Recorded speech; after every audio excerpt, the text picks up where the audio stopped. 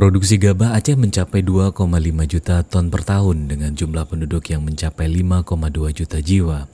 Konsumsi gabah Aceh per tahun diperkirakan sekitar 1,2 juta ton saja. Surplus 1,3 juta ton, gabah Aceh turut membantu ketersediaan pangan wilayah lain di Nusantara. Hal tersebut diungkapkan oleh pelaksana tugas Gubernur Aceh, Nova Iriansah, dalam sambutannya pada acara penanaman perdana percontohan klaster pada Indeks Pertanaman IP 300 di Indrapuri, Selasa 23 April 2019. Keberhasilan surplus ini, Sabung Nova merupakan prestasi yang patut diapresiasi.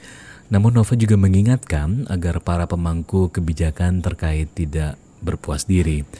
Karena jika tidak segera diantisipasi, maka angka konversi lahan di Aceh akan berimbas pada menurunnya produksi gabah di Aceh di masa yang akan datang. Ya, sebenarnya eh, ini keniscayaan karena akarnya kan karena luas eh, lahan sawah kita setiap tahun itu berkurang secara signifikan sehingga eh, lahan yang ada harus betul-betul dioptimalkan.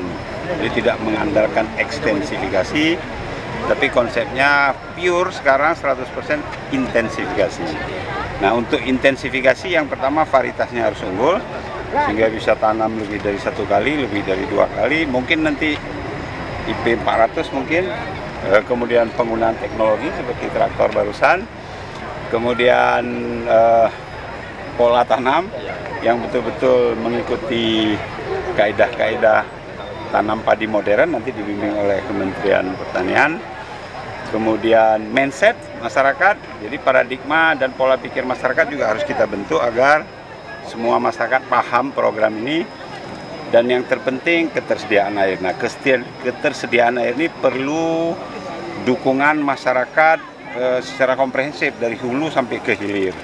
Perlu dukungan e, Kementerian PU, e, Dirjen Sumber Daya Air dan perlu dukungan eh, masyarakat yang mencintai lingkungan agar catchment area kita di atas jangan rusak, tidak ada eh, pembalakan liar sehingga tata air kita terjaga. Nah itu semua harus berhimpun dalam satu gerakan yang hari ini kita mulai. Mudah-mudahan mendapat dukungan dari semua pihak.